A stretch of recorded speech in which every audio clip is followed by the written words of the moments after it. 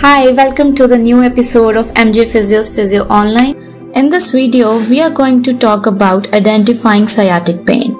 So, sciatic is a low back combined with a pain radiating through the butt and down one leg. The leg pain often goes past the knee and may go to the foot. So, the weakness in the leg muscles and limping can be a sign of sciatic.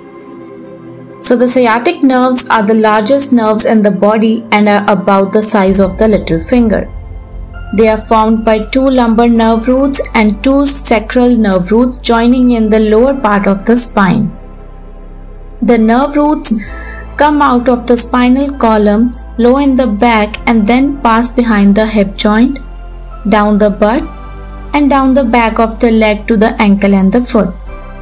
So sciatic is different from other forms of low back pain because while the pain most often begins in the back, it usually travels down one lower extremity.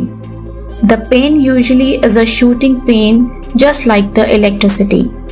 The nerve pain can also burn like fire or tingle much like the feeling when one's leg goes to sleep.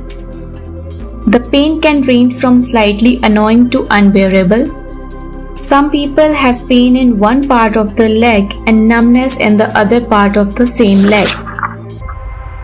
There are lots of similarities between lower back pain and sciatic. If you feel the pain for the longer duration of time, feel free to contact the physiotherapist as soon as possible.